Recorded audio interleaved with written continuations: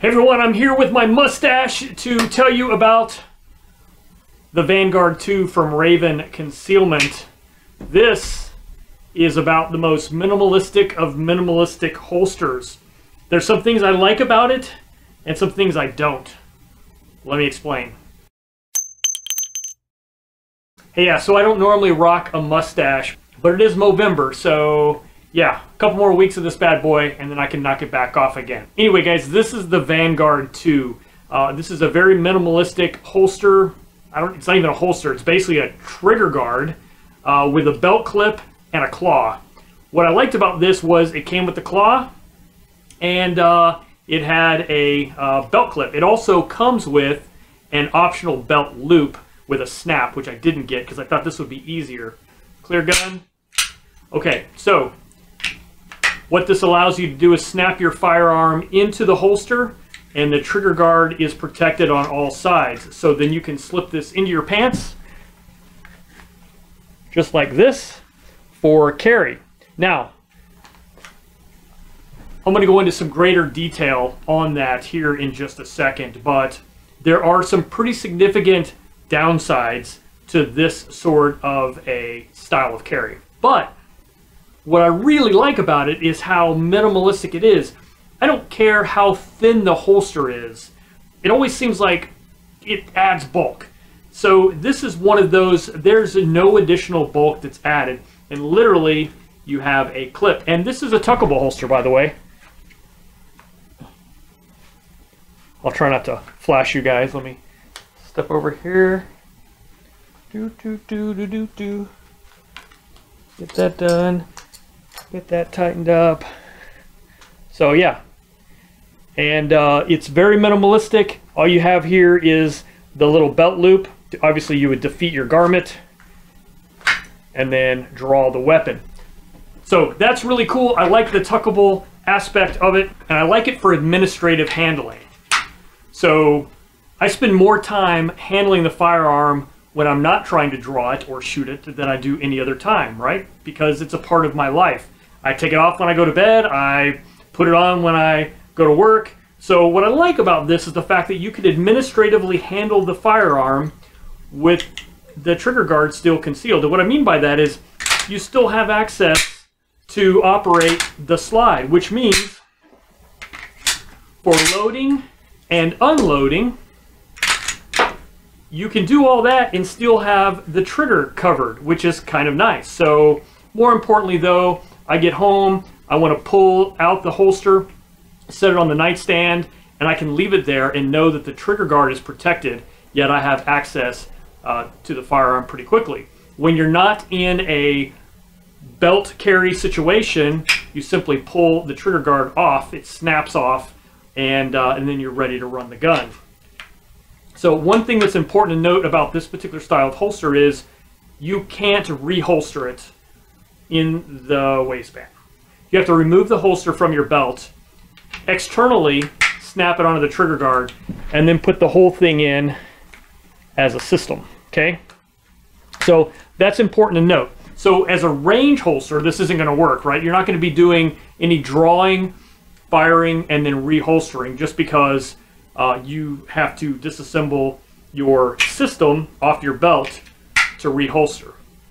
Please do not try and slip this in between your pants and shove it in there and get it to lock into place. Very dangerous. But doing it outside, perfectly safe. And I really like how this protects the trigger guard. I mean, that's its that's its job.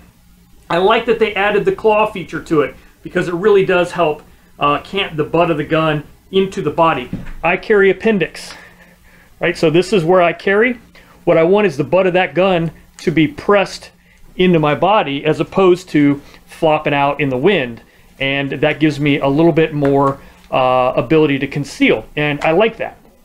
So the claw really does allow for that. You can see it there. It's basically just pressing against the belt. This is a pretty stiff belt, um, and it really does sort of grab that uh, claw and just suck it right in. So uh, that's a nice feature. So let me tell you about some of the things that bother me about this holster. First of all, with it being exposed like this, uh, particularly in my case, I have these really sharp suppressor height sights. And that front sight in particular is serrated on the back side, okay? And it's just sharp on all the corners, which is kind of what you want in a front sight. It um, hangs up on everything, right? So you slip this into your pants, and on the draw, there's a good chance it might hang up on things. So that's something you need to know about, and it's not something I've seen a lot of people talk about. I'm going to show you some demos here in a second in both dress pants with a regular dress belt, and that's going to be an important one to watch because that is actually a very horrible combination for this particular uh, holster system. And then I'm going to show you with the jeans and, uh, and this uh, Ares belt here that I have, and you'll see a difference in how uh, well this does or doesn't function, but also what you'll see is this front sight getting hung up on things. So I think I prefer in normal situations a holster that wraps around and provides a channel for that sight uh, so it's not hanging up on things. So that's an opportunity for problems. And I don't know really a way around it other than just the smoother the inside of your clothing is, the better. But just know there's a chance you're going to hang up. Now, if you've got a smaller front sight, it might not be that big of an issue as compared to what I'm running here. All right, so first starting with a safe weapon for this demonstration, uh, I'm going to go ahead and clip on the Vanguard holster and put it into my waistband. Now, this is a typical like business uh, belt, one and a quarter inch belt, slacks, and a polo shirt. It does do a really great job at pressing the gun tight against my dad bod and uh, I've got good access to the grip of the pistol, but watch this. If I slowly draw, I want to show you. Look at that. My front sight is getting hung up on the inside of my pants. You can see there. These dress pants have a lot of little liners on the inside, and that sharp serration on the back of the sight uh, is becoming a problem. So I'm going to do it again really quick uh, just to show you it wasn't a fluke. It happens uh, quite often. Again, this is a bad combination of too flimsy of a belt, probably too small of a belt, and then uh, complicated lining on the pants.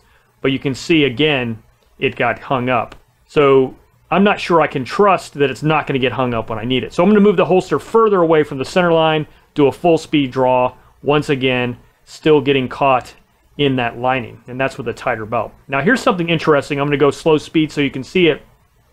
If the belt is too small, you have the potential for it to roll over inside the waistband, particularly if it's too small and too loose and not stiff enough. So you end up drawing the gun with the holster attached. And that's really, I think, because of how flimsy and soft this plastic is. All right, so the good news is things improve dramatically when you have a proper belt. This is an Ares Gear Aegis Enhanced belt, and uh, it's the right size belt for that particular clip, a one and a half inch clip. And uh, yeah, it really makes a big difference. You can see how solid the holster sits on the belt and how it clips properly underneath. Now, I do have uh, one thing to add here which is even in jeans, there is a way to get it hung up on that front side. For the most part, the draw is going to be smooth and without issue, and you can see how it really retains the holster again the right belt for the job. Here's a close-up of the holster. You can see it's adjustable and you can lower or raise by one notch basically this belt clip now I'm in the lowest position where the gun is riding lowest, and even with that, I still have plenty of room to access the butt of the pistol. So uh, my fingers uh, fit in there in between uh, the belt nicely, and it doesn't have a problem. I found when it was higher, it seemed to, it just rode too high for me. Now here is a problem. Uh, again, inboard of that one belt loop, uh, I run the risk of getting into this area where the front sight can get hung up. There's a section of overlap right here with the jeans, and you can see right there uh, it can get hung up in that little channel. So again, my solution for that is to try and uh, move that further outboard than right there. Anyway, it does come with a claw for you left-handed guys, so you just flip around the holster and then you use the other piece of the claw for left-hand carry. And um, yeah, it's um, pretty simple. All right, so here's something that totally surprised me, and that is uh, how this holster system works with drawstring sweatpants. Now, I don't normally wear sweatpants with a polo, but this is a demo, so you know, just work with me, folks. Uh, so with the with the drawstring tied tight, uh, the holster actually conceals fairly well. I actually like it, and look at this. Oh my gosh, it actually worked. I did not see that coming. I actually expected that it wouldn't work, but uh, time and time again, uh, the weapon is able to be drawn gracefully out of the uh, the Vanguard 2 with sweatpants. So, yeah. Now, will this be my primary method of carry uh, in sweats? Probably not. But it's nice to know that if I'm running to the store again, I use that example a lot because it's pretty common. I'm not prepared to be gone for very long. It's just a quick errand. Uh, it's nice to know that that might work. Alright guys, so I wanted to make sure that you got a chance to see how it looked concealed underneath a lightweight polo. Uh, dad bod and all. Um, you know, I'm not sucking in Ranger style here. No, no offense. I'm just messing with you guys. Uh, pretty easy to uh, to draw from uh, from under concealment, of course. And um, you know, my biggest challenge, I have that huge optic, uh, relatively speaking, of course, which is going to stick out a little bit more than those of you that uh, just have a traditional rear sight. Um, but yeah, I kind of find that spot right there where it fits nicely um, and uh, works well for me. And I think it's a pretty good concealable holster. And for the record, yes, you can draw one-handed with this, no problem. So do I like the holster? Yes, I do. Um, I think it fits a need for me, which is, like I said, that administrative. Um, let's say I'm I'm in a non-permissive environment, or I'm I'm going to a place where I can't legally carry.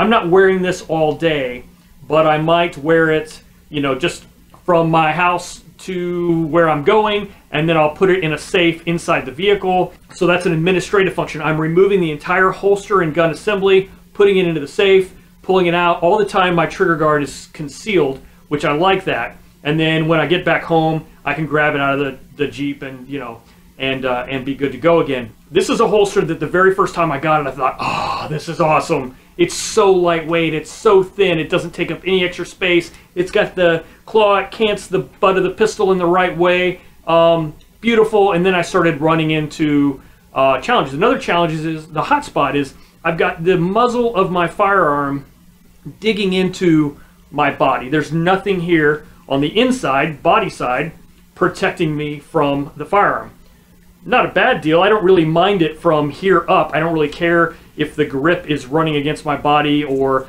the slide.